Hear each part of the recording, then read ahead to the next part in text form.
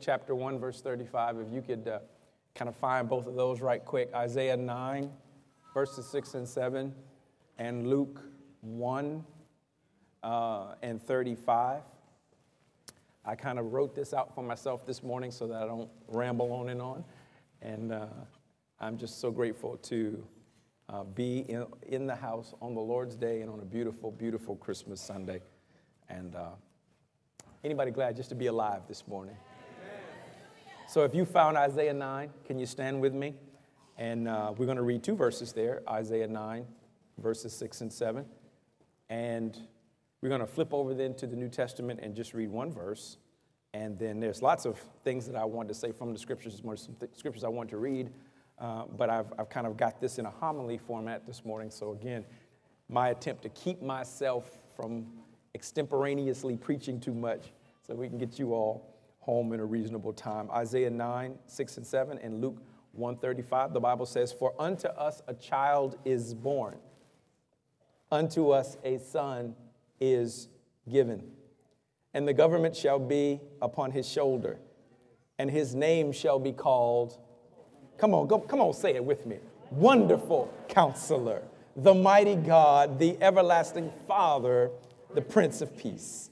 Of the increase of his government and peace there shall be no end upon the throne of David and upon his kingdom to order it and to establish it with judgment and with justice from henceforth, even forever. The zeal of the Lord of hosts will perform this. Amen. And Luke now, uh, Luke chapter 1, verse 35, if you've got your finger there, uh, Luke 1 35 says, And the angel answered and said unto her, The Holy Ghost shall come upon thee, and the power of the highest shall overshadow thee. Therefore also that holy thing which shall be born of thee shall be called the Son of God. Our title this morning in our ongoing thought of exploring the love of God through the Bible is simply this marveling at the coming of Christ.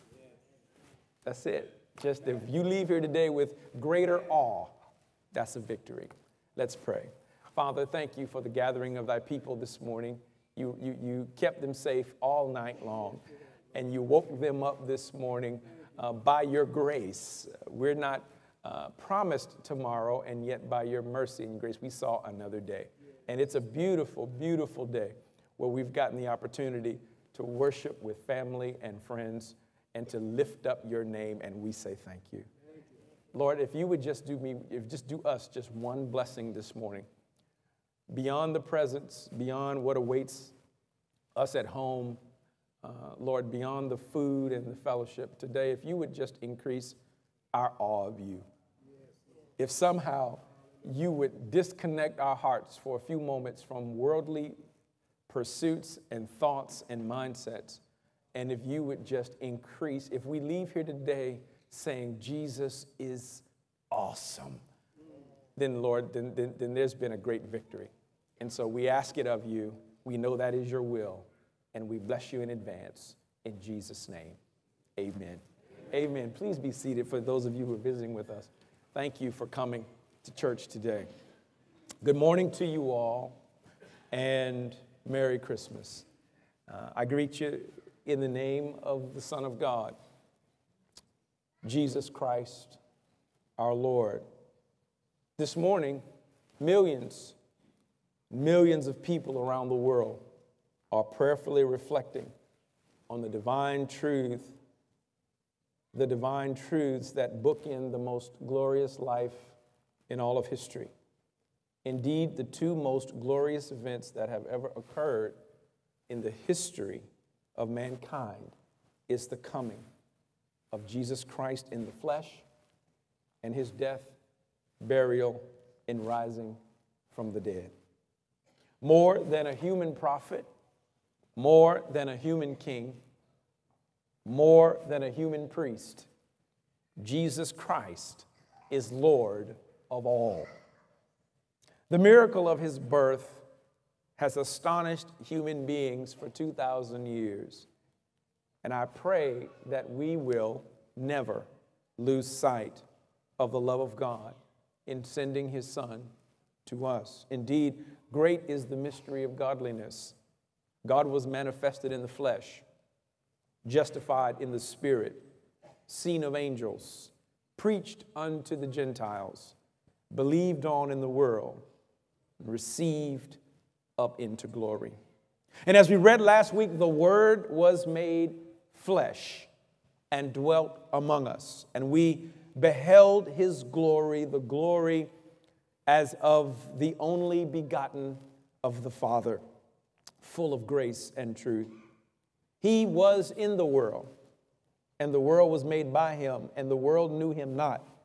He came unto his own, and his own received him not. But as many as received him, to them gave he power to become the sons of God, even to them that believe in his name, which were born not of blood, nor of the will of flesh, nor of the will of man, but of God. As we consider our text this morning, just quickly, Isaiah 9 and Luke 1. As it relates to Isaiah 9, a very familiar passage around this time of year, for unto us a child is born, for unto us a son is given. Uh, a great Christian preacher and apologist Ravi Zacharias said this concerning Isaiah 9 and 6. He says, Consider what Isaiah 9 6 means. The Son is not born, the Son eternally existed and is given. The child is born and entered our time. So the son isn't born, the son has always been. It was the child that was born.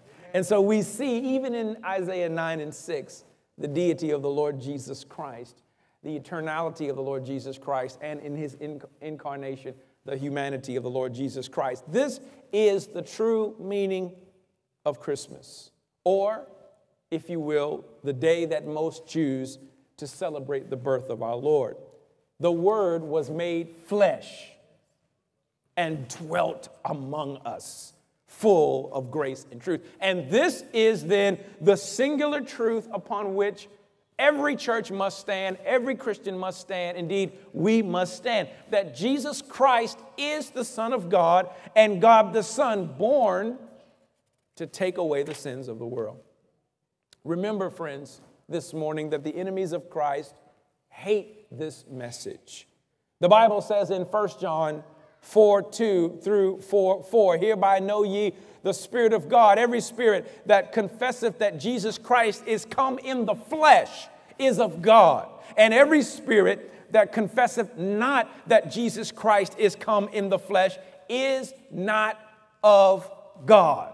And this is that spirit of Antichrist, whereof ye have heard that it should come, and even now already it is in the world. So just look at your neighbor and say, Christmas is not about Santa Claus. But this day is about Jesus come in the flesh. Ye are of God, little children, and have overcome them, because greater is he that is in you than he that is in the world. For many deceivers are entered into the world who confess not that Jesus Christ is come in the flesh. This is a deceiver and and Antichrist. 2 John 1 7. So a child unto us was in fact born, and because this child is the king, the government is upon his shoulders. Anybody glad about that? The government is upon his shoulders. His kingdom rule is now, and his kingdom rule will be fully inaugurated in a day yet to come. And at this time, and at that time, there will be peace, the Bible says, without end, because the zeal of the Lord of hosts will do this. This Jesus is, in fact, our wonderful counselor, our mighty God, our everlasting Father and Prince of Peace. His name literally means Savior. To be sure, neither is there salvation in any other. For there is none other name under heaven given among men whereby we must be saved. John said, And we have seen and do testify that the Father sent the Son to be the Savior of the world. Whosoever shall confess that Jesus is the Son of God, God dwelleth in him, and he in God. And we have known and believed the love that God hath to us. God is love. And he that dwelleth in love dwelleth in God, and God in him. Friends, may we today marvel at the coming of the Lord Jesus Christ. May we marvel at the Son that was given and the child that was born, the one upon whom all government, in other words, all rule and authority rests. May we marvel uh, at the ones that, w- that the one that was proclaimed from the beginning of the scriptural record, indeed prophesied by God in Genesis. And I will put enmity between thee and the woman and between thy seed and her seed it shall bruise thy head and thou shalt bruise his heel. Genesis 3:15 an allusion to the coming of Christ. And may we give honor and marvel at the one about whom was prophesied throughout the Bible canon all of history and in fact situating itself around the incarnation of Christ or his coming in the flesh. The Bible says in Micah 5 2 but thou Bethlehem Ephratah Though thou be little among the thousands of Judah, yet out of thee shall he come forth unto me that is to be the ruler in Israel, whose going forth have been from old, from everlasting. That don't sound like a man to me. Isaiah chapter 11, verses 1 and 2 says, And there shall come forth a rod out of the stem of Jesse and a branch shall grow out of his roots, and the Spirit of the Lord shall rest upon him the Spirit of wisdom and understanding, the Spirit of counsel and might, the Spirit of knowledge and of the fear of the Lord. Jeremiah 23 and 5 says, Behold, the days come, saith the Lord, that I will raise unto David a righteous branch, and a king shall reign and prosper and shall execute judgment and justice in the earth. Jeremiah 23 and 6 says, In his days Judah shall be saved and Israel shall dwell safely. And this is his name whereby he shall be called the Lord our righteousness. That's who came. The Lord our righteousness. For if he is not our righteousness, then we're left to trying to be righteous on our own. Say amen, somebody. But the one whose righteousness is, was laid to our account, yes, that one who was born in a stable of a virgin in scandal for that particular purpose to be the Lord our righteousness, showed up 2,000 years ago, broke into our time stream to literally snatch our souls out of hell. Somebody ought to lift their hand and say, Thank you, Lord, on Christmas Day. Hallelujah. Isaiah 53 and 2, very familiar. For he shall grow up before him as a tender plant and as a root out of dry ground. He hath no form nor comeliness. And when we shall see him, there is no beauty that we should desire him. He is despised and rejected of men, a man of sorrows and acquainted with grief. And we hid, as it were, our faces from him. He was despised, and we esteemed him not. Surely he hath borne our griefs and carried our sorrows. Yet we did esteem him stricken, smitten of God, and afflicted. But he was wounded for our transgressions, he was bruised for our iniquities. The chastisement of our peace was upon him, and with his stripes we are healed. This is the ultimate purpose and meaning of the, of the child that was born, the son that was given. This is why he came. This is why he was born. This is why uh, everything surrounding him points to his role as redeemer. And this is why the enemy today works as hard as possible to steal this truth from as many people as possible. Friends, angels announced his coming. Wise men came to worship that baby. Luke chapter 1, verse, from verse 26 down through around verse 33 declares this And in the sixth month, the angel Gabriel was sent from God unto a city of Galilee named Nazareth to a virgin espoused to a man whose name was Joseph of the house of David, and the virgin's name was Mary. And the angel came in unto her and said, Hail, thou that art highly favored, the Lord is with thee. Blessed art thou among women. And when she saw him, she was troubled at his saying and cast in her mind what manner of salutation this should be. And the angel said unto her, Fear not, Mary, for thou hast found favor with God. And behold, thou shalt conceive in thy womb and bring forth a son, and shalt call his name Jesus. And he shall be great and shall be called the Son of the Highest. And the Lord God shall give unto him the throne of his father David, and he shall reign over the house of Jacob forever, and of his kingdom there should be no end.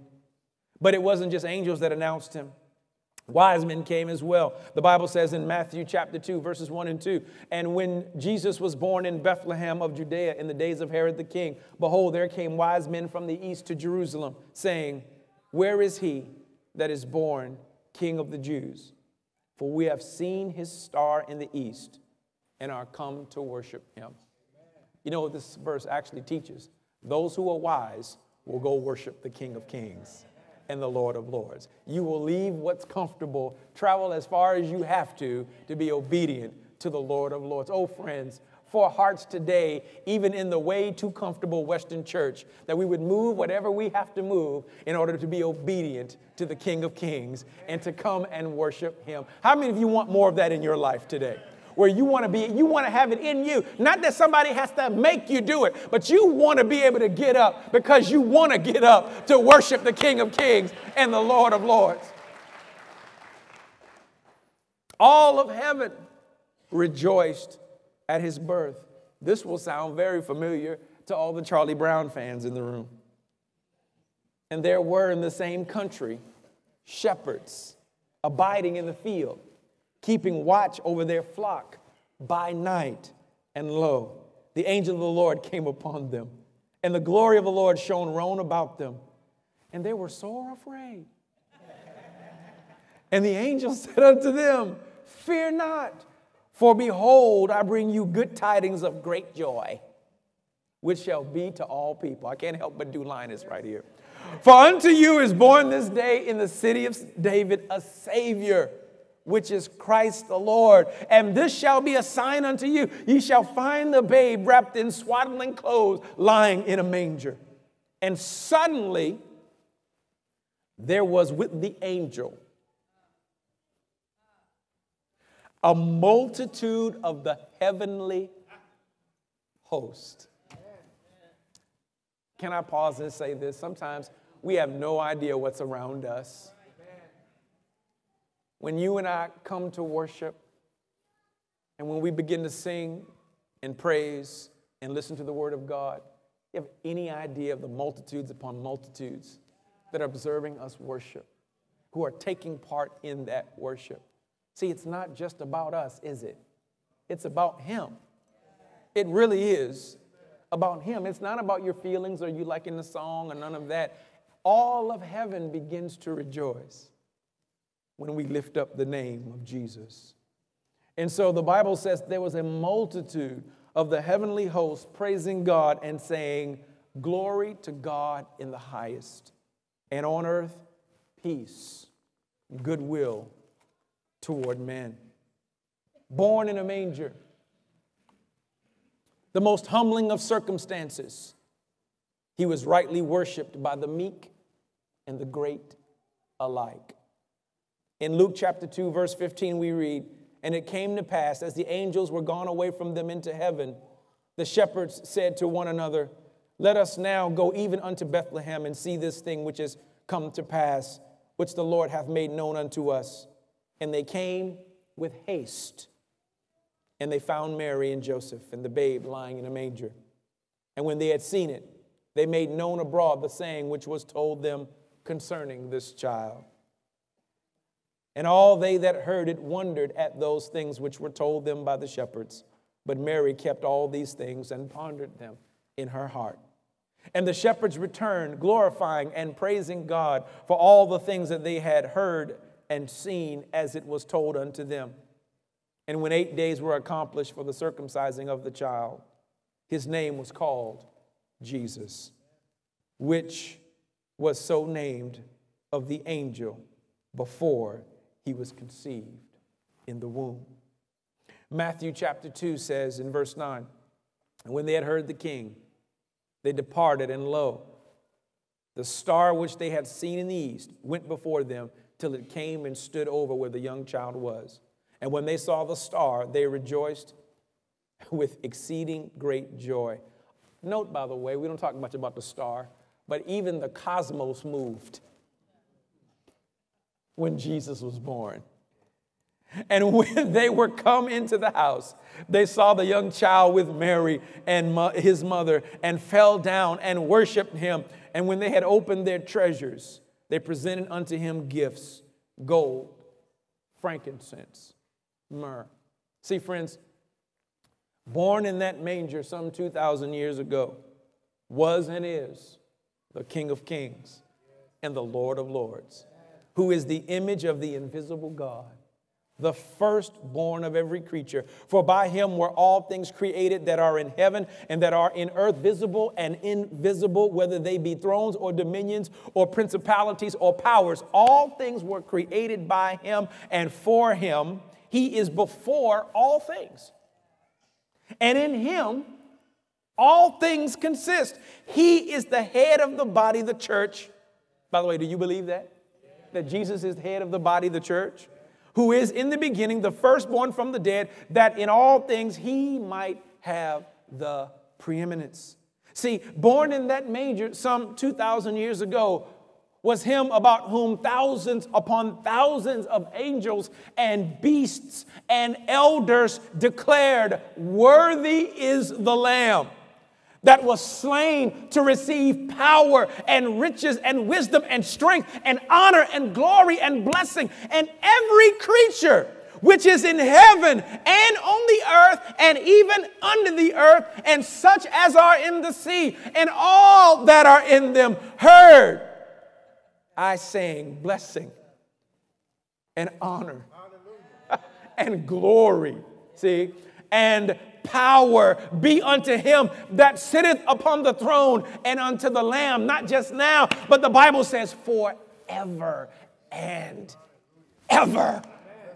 See, that's what we gather for. That's why we're here, because we serve the risen King and the lamb that was slain from the foundations of the earth. And he is bigger and greater than any and everything, greater than your problems, but also greater than your desires. It is his will that we should want, and his will that we should pursue.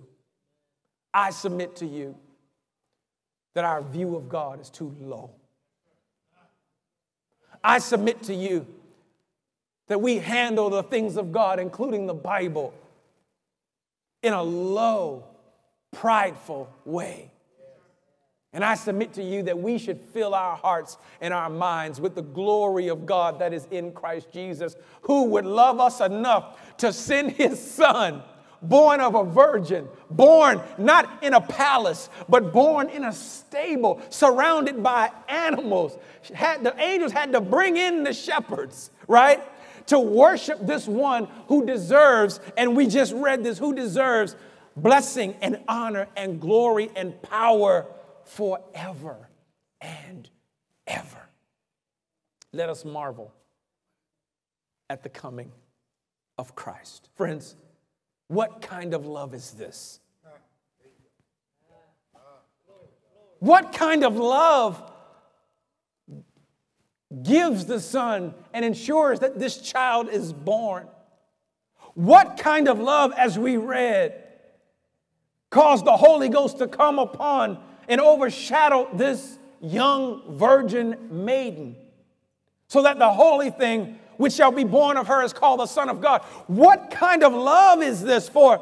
We he hath quickened who were dead in trespasses and sins wherein in time past ye walked according to the course of this world, according to the prince of the power of the air, the spirit that now worketh in the sons of disobedience, among whom also we all had our conversation in times past. Go ahead and say amen, because you know it's you and I know it's me. In the lust of our flesh, fulfilling the desires of the flesh and of the mind, and were by nature the children of wrath, even as others, but God. I'm amazed at this, but God, who is rich in mercy, for his great love wherewith he loved us, even when we were dead in trespasses and sins, hath quickened us together with Christ. For by grace ye are saved, and have raised us up together and made us sit in heavenly places with Christ Jesus, that in the ages to come we might show the exceeding riches of his grace in his kindness towards us through Christ Jesus, for by grace ye are saved through faith, and not that of yourselves. It is the gift 2,000 years ago. See, it is the gift. See, it's not wrapped in, in red with bow. It is the gift of God. It's not tinsel, right? It's not a candy cane. It ain't a tree. I'm talking about the Lord Jesus Christ.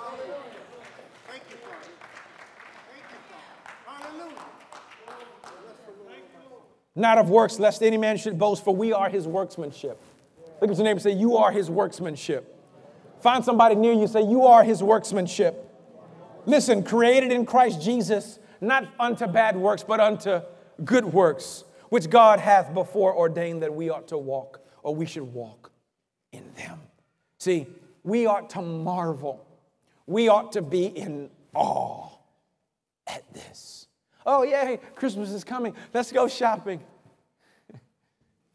Don't miss it. So you're about to miss it. Okay, let's hurry up so we can go home and open presents. Okay, teach your children better. Teach them better. Teach starting now. And some of you hardworking fathers and mothers, stop letting Santa take your credit. Santa ain't buy nothing for nobody. Oh, look at what Santa. I worked my fingers to the bone. You better thank God and thank your father up in here.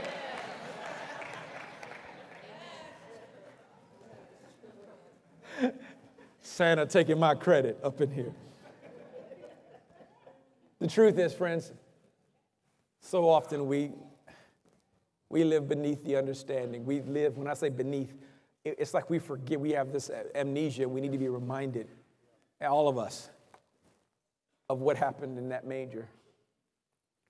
And if it takes a special day to do it, I mean, we ought to do it all the time because we ought to be preaching the gospel all the time, but if it takes a special day to do it, I'm okay with that long as you remember what it's about.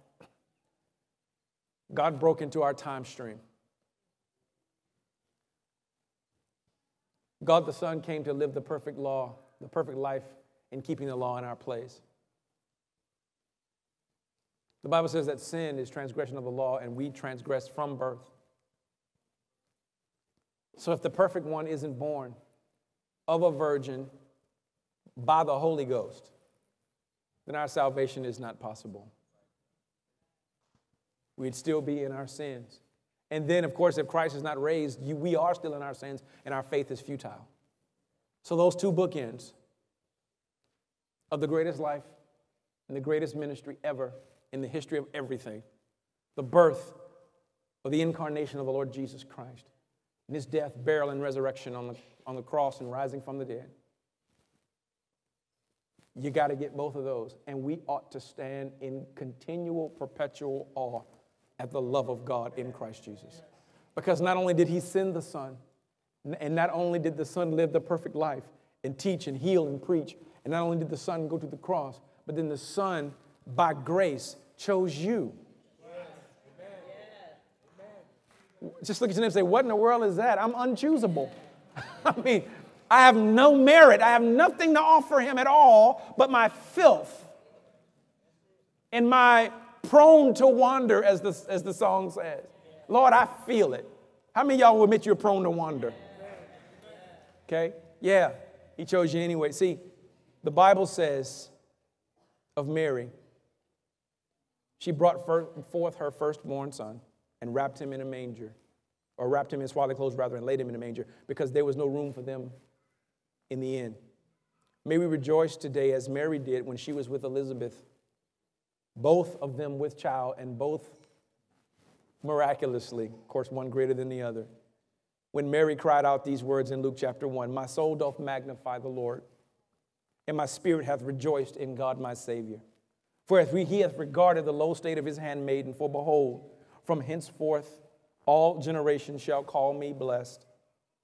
For he that is mighty hath done to me great things, and holy is his name. And his mercy is on them that fear him from generation to generation. He hath showed strength with his arm. He hath scattered the proud in the imagination of their hearts. He hath put down the mighty from their seats and, exalt, and exalted them of low degree. He hath filled the hungry with good things, and the rich he hath sent empty away. He hath holpen his servant Israel in remembrance of his mercy, as he spake to our fathers, to Abraham, and to his seed forever. CRCC, we learned a lot from Mary's humble posture. In my prayer, somebody emailed me this week and said, How can I pray for your church going in 2017? I said, Pray that we humble ourselves. Pray that we, we deepen, we, we, we possess, we, we come to possess a deep, abiding humility as God literally, and I'll talk about this next week, God literally rebuilds our church. My message next week is called Decision Time. I'm going to talk, very, I may not even record it. I'm going to talk very frank about what has happened to this church about what I saw, about where we are, and about God's call if we'll humble ourselves and listen. I need you to be here next week. It's the, there'll be no, no uh, December 31st services uh, on, the, on that night. So look at your name and say, stay out the club. Matter of fact, stay out of all carnality because I need you here the first. If you're in town, I need you here.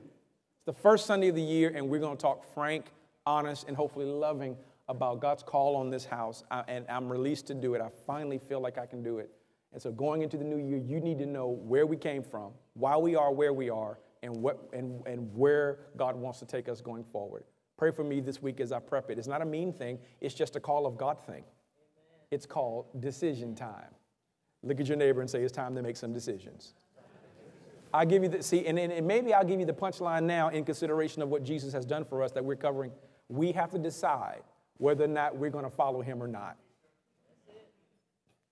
If we're going to play with obedience or whether we're going to go ahead on and follow the master. We have to decide. Okay? We have to make a call about whether or not we're going to follow Jesus in this hour. And so, friends, remember the gospel. Jesus Christ, the Son of God, and God the Son, came to this earth through the Virgin Mary, revealed the truths of God lived the perfect life in our place, died on the cross to pay the penalty of sin that we might be brought into relationship with God. He rose again on the third day and gives eternal life to those he has called who believe in him by his grace and through faith. Those who reject him, this is important, will spend eternity apart from him in hell.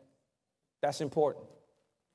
At a future date, he will return to complete the restoration of God's creation. At the end of the day, all of us should live lives to the glory and honor of the one who came, born of a virgin, was surrounded by straw and smells of animals, who lived in obscurity for 30 years, no, no, no Facebook followers, and for three years fulfilled the call of his father, went to the cross, died for our sins, rose again on the third day. Look at your neighbor and tell him he's worth anything and everything. That's the mindset we must have. As the world gets darker and the church gets more carnal, we have to now decide to follow the Master, and I pray that you do. May we never, and what drives us a lot is our love for Him, our awe of Him. May we never lose our awe of God. May we never treat Him like a homeboy. May we never lose our awe of the things of God. May we develop more reverence and holy fear that's driven by love. May we never lose our awe of God. May we never lose our reverence of this, this, this Jesus who came and did this just ridiculously loving thing for us that be, that's beyond our comprehension. May we never lose our, our, our, desire to worship him because of what he accomplished on our behalf. Because of Jesus' great love, may we receive the call to faithfulness and holiness that he's given. And may we do so with great joy. Paul said these words to Timothy. He said, But thou, O man of God, flee these things and follow after righteousness, godliness, faith, love, patience, meekness. Fight the good fight of faith. Lay hold on eternal life, whereunto thou art called also, and, and hast professed a good profession before many witnesses. I give thee charge in the sight of God, who quickeneth all things, and before Christ Jesus, who before Pontius Pilate witnessed a good confession, that thou keep this commandment without spot. He said, unrebukable until the appearing of our Lord Jesus Christ. May that be our May, may, may we get that in our hearts, that we would do whatever He asks us to do, unrebukable, until the appearing of the Lord Jesus Christ. And He's worthy of dying the flesh in that way. Which in times past, the Bible says, He will show who is the blessed and only potentate, King of kings and Lord of lords. Friends, today, may we join in with the angels and the saints throughout generations and declare, not just today, but with our lives every single day. Joy to the world. The Lord has come. Let earth receive her king. Is he your king? Seriously, is he your Lord? Is he the one you check with before you do anything? Because he's the Lord of the heaven and the earth. Do you, do you see him not just as your Savior, but as absolute ruler of your life. Receive your king. Let every heart prepare him room, and heaven and nature sing. Joy to the world, the Savior reigns.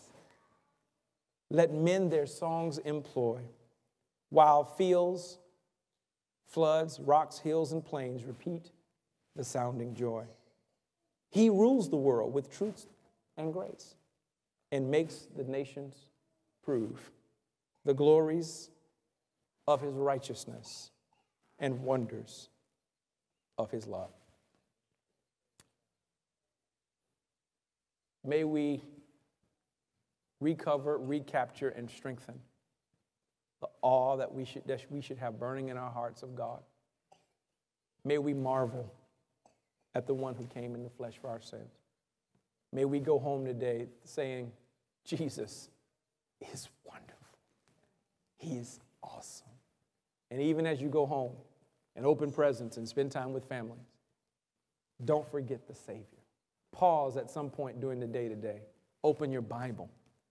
Read to your children and your grandchildren the things, the glorious things of God that's greater than anything that takes a battery. Amen. Next Sunday, same time, or rather, normal time, 10 a.m. well, same time to get y'all here on time. Praise God.